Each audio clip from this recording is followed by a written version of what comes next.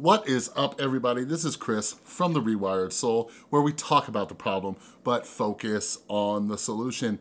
And today we're going to be talking about some of the anxiety surrounding the coronavirus outbreak. So I'm somebody who has been diagnosed with a generalized anxiety disorder.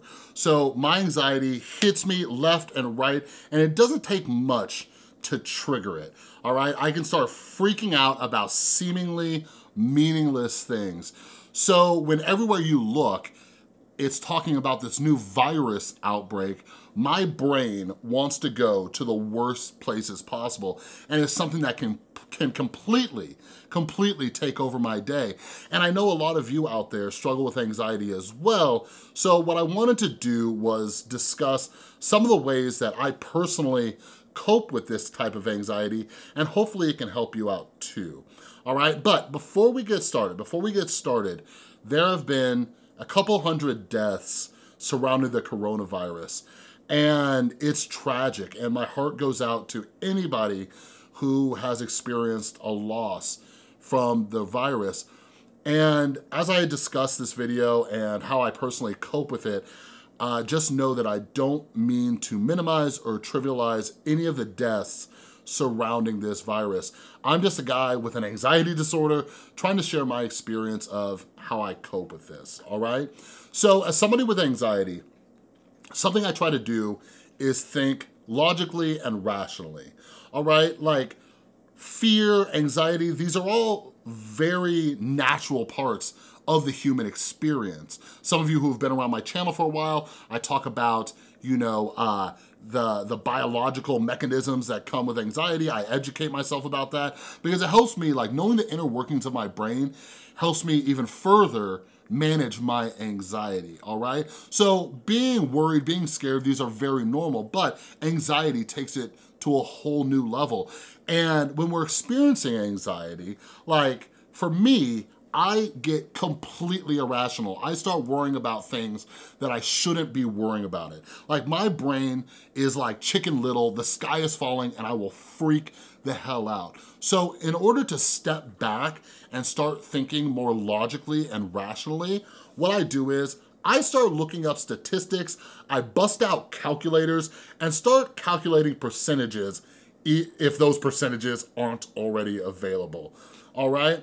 So Currently, according to the New York Times, and this was just updated a few hours ago, um, I believe a bunch of news outlets have updated or are currently updating the number of deaths surrounding the coronavirus. So currently there are a little over 250 confirmed deaths all right? And we have thousands of confirmed cases. There are some here in the United States.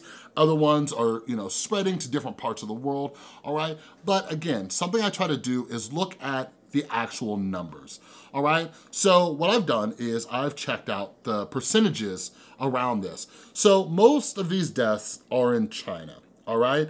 So first, let's look at where this virus origin originated, and that's in Wuhan, China. All right, so the, the most recent population number that they've shown is Wuhan has a population of over 11 million people, all right? So I wasn't able to find exactly all of the locations where these deaths have been confirmed, but let's, let's just say, let's just say to narrow it down, narrow it down to best case scenario.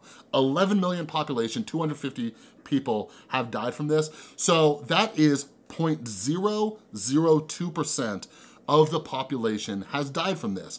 And when looking at that number like that, that is less than 1% of people in one area of China. And that helps me think about the bigger picture, like how many people are dying from different things? You know what I mean? Automobile accidents, cancer, heart disease, other forms of illness that we deal with every day. So looking at the coronavirus, 0.002% of this population. But this virus is spreading, all right? More and more people in China are being affected by it. So let's look at the entire population of China, which clocks in at over 3 billion people. So let's say all 250 deaths are in China. That, that percentage is 0.00008%, all right? And these are the things that just help me, like looking at it, like I can look at this when my anxiety is kicking in. I'm like, oh wow, that's not even a, a full percentage. That is a, a, a fraction of a percentage. Like how much do I really need to worry about this right now? Like, is my anxiety justified? That's something I ask myself all the time. Like when I'm experiencing anxiety, I ask myself, is my anxiety justified? So let's real quick, let's compare the coronavirus to the regular everyday flu. So according to the CDC report, all right, we've seen an increase of 65% when it comes to flu deaths all right? Currently in 2020, and we're only a, a month into this year, there are 4,800 confirmed deaths from the flu all right? That's pretty crazy when you think about it, you know? And luckily, like one thing that's different between the flu and the coronavirus is that we actually have vaccines for the flu, right? And something that they're working on is a vaccine for the coronavirus. But again, it helps me to compare these numbers. So I also do this with my anxiety around flying. So in 2019, worldwide, the entire planet, okay, 561 people died in plane crashes right? So every time we're getting on a plane, we're like, oh my God, what if I die? What if I die? What if I die? Well, that's a worldwide number, 561. Well, last year in the United States alone, so that's not even a worldwide number, there were over 37,000 deaths from car accidents, right? So driving is something that I do every single day. I maybe fly on a good year, three or four times a year. Driving something I do every single day. So if I'm going to have anxiety about something, it should be driving. And driving anxiety is a whole different video, all right? My main tip for that is do not drive next to gigantic trucks helps me out a lot. So the second primary thing that I do to manage my anxiety around the news of the coronavirus is I refuse, I absolutely refuse to let the media scare me.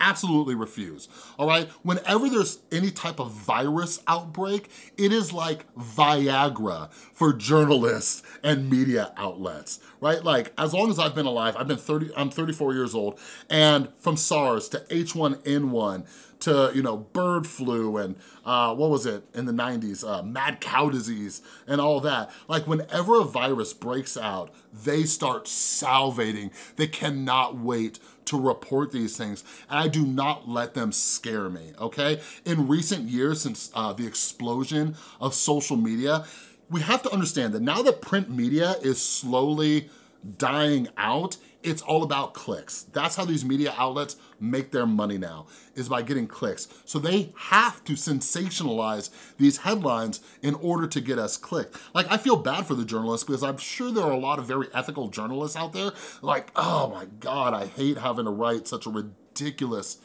title around this article, you know what I mean? But one of the most powerful emotions out there is fear. You know what I mean? So that's one of the reasons that they do this. So again, like I don't let the media scare me. Like according to the World Health Organization, over 800,000 people each year are dying from suicide. Like, I think the way they averaged it was like every four seconds, someone's taking their own life. So these are much bigger problems. And when it comes to things like mental health problems and addiction problems, like these things are causing more deaths than any outbreak we've ever seen since like, what, like polio? You know what I mean? So I would much rather that, uh, you know, news outlets and media organizations, I'd much rather them focus on these things that have been taking thousands upon thousands upon thousands of lives every single year and no trend shows them like even coming close to slowing down. If anything, a lot of these issues are becoming worse. So I'd rather them focus on these huge issues that are constantly plaguing us and families are getting destroyed because of these deaths rather than getting this media boner every time a new strand of an illness comes out. You know what I mean?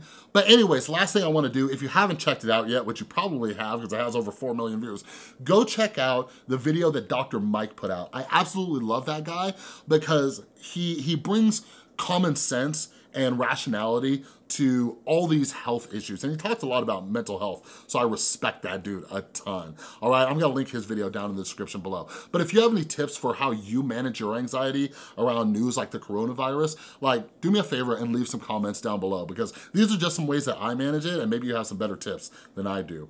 All right, but anyways, that's all I got for this video. If you like this video, please give it a thumbs up. If you're new, make sure you subscribe and ring that notification bell. And I wanna send out a huge, huge thank you to everybody who supports the channel over on Patreon, as well as anybody who supports the channel through buying my mental health books on the rewiredsoul.com or my mental health merch. You're all amazing. Thanks again for watching. I'll see you next time.